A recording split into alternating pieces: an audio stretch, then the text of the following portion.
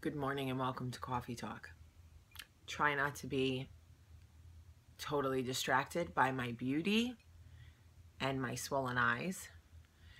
I had a dream last night that I was on an airplane because I'm flying to Fargo, North Dakota next week to speak at an event. And anytime that I know I have to fly, I get very anxious after the plane crash. And anyway, I had a dream that I was flying and out the window I saw a plane going to Miami and I watched it crash. And it just, I woke up in the middle of the night. I couldn't go back to sleep. It was just like one of those dreams that was so real that you wake up and you're like, okay, wait, what did that just happen or was I dreaming? So anyway, um, that stunk. Um, so I just watched a video, by the way, of Billy Joel doo-wopping. Now, I grew up, my mother was a huge doo-wopper. Okay, is that a thing? Doo-wopper? I don't know. But if it is, she was. My mother loved doo-wop. I love hip-hop. My mother loved doo-wop. Who knows what my kids will love? Boppity-bop. Um, so I grew up listening to doo-wop. I grew up listening to like doo-wop. I don't know. You don't want me to sing. I was going to sing you one, but I'll spare you.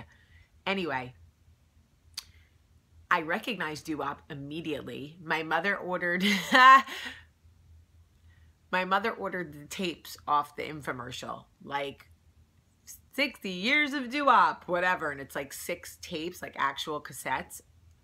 And she would be like, Jaime, get my cassette. Get my doo-wop. Put it on. I'm going to listen to some doo-wop. And I'd be like, all right. Anyway, I just watched Billy Joel doo-wop for the longest time on a commercial break at Jimmy Fallon. I'm going to post a video for you guys later. I don't know, for all, any of you who grew up with doo-wop or parents who loved it or whatever, it brings me back to the 80s when my, you know, my dad was still alive and we were kids and my parents were so happy and, um, oh, this hair anyway, it was awesome. So I just, I it made me very happy after a crazy, horrible dream.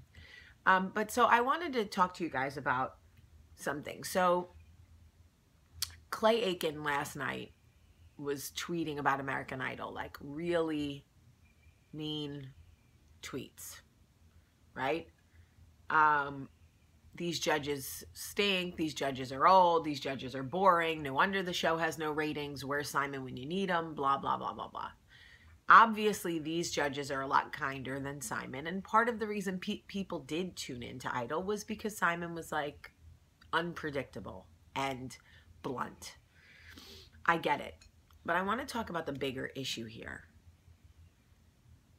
Clay Aiken is one of, he's in a small fraternity of people who have been through the experience of American Idol. He was the runner-up to Ruben. Um, he's incredibly talented. He's had a great career. Uh, his voice is, forget it, bananas.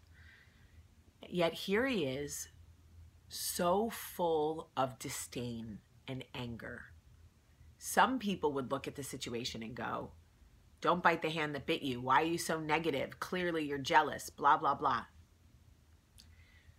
The way to take the next step in the human connection is to see somebody crying out in pain, which is what he was doing. Some people would say it's attention. I would say a lot of times they are the same thing. In the human connection, the next step is to reach out and go, you are you're clearly in pain. Let's talk about it. Let's see if we can help you.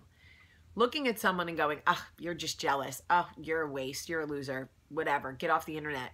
That does nothing to help somebody in need.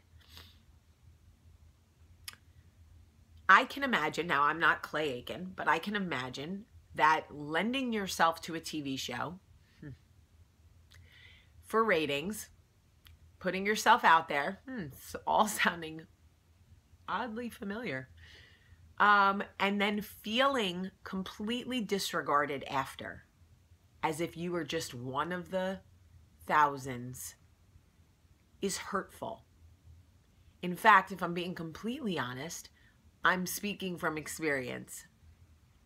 It is hurtful to put yourself out there in any situation, TV or not, and give everything you have and believe people when they say, We are going to take care of you. And then when it no longer suits them, they drop you like a hot potato. That is incredibly hurtful. People can say you knew what you were signing up for. People can say nothing lasts forever. People can say whatever they want to say. And the truth is this until we start putting our arms around each other and comforting each other, instead of saying, not my problem, you knew what you were signing up for, we are ignoring the human connection. We are essentially failing at what we were created to do.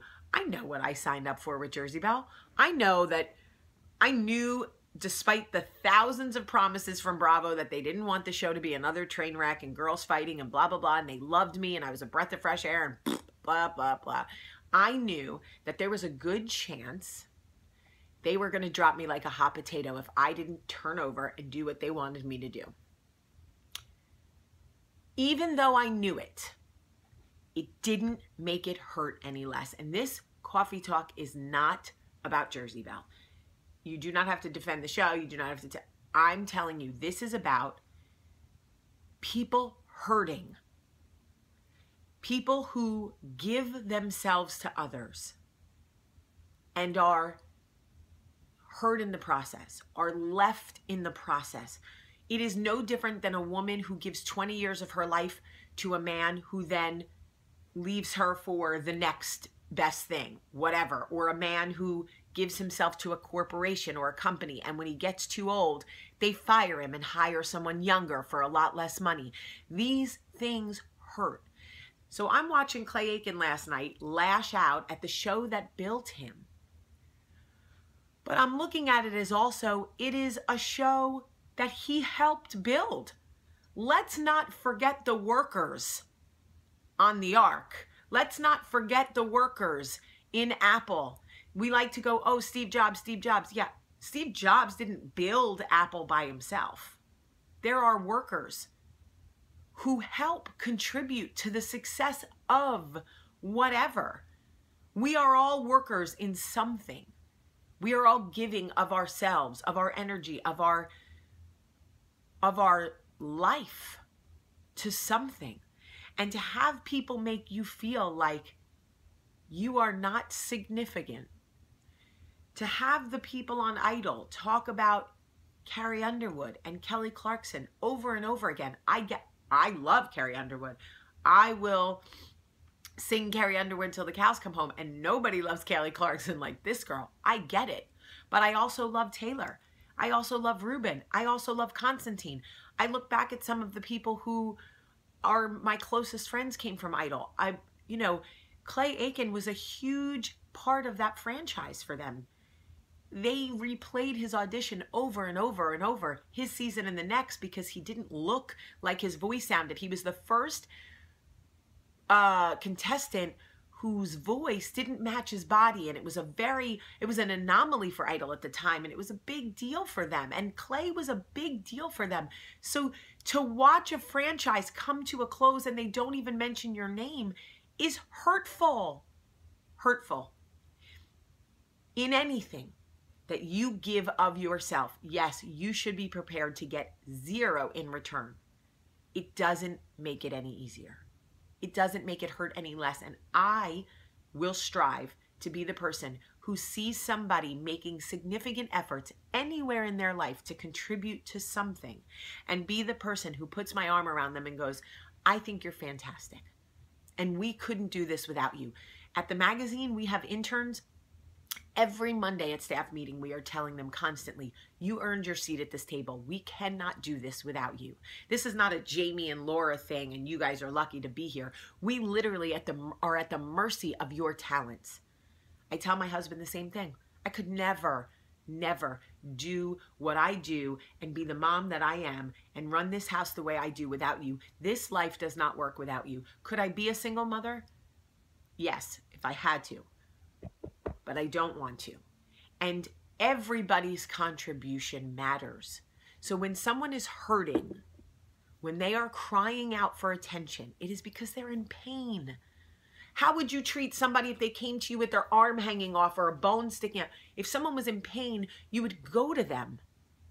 It is the same thing with emotion. So when somebody acts out, look deeper than just you want attention. What is hurting them? Something to think about. I love you guys so much today. I love you. Have a great day.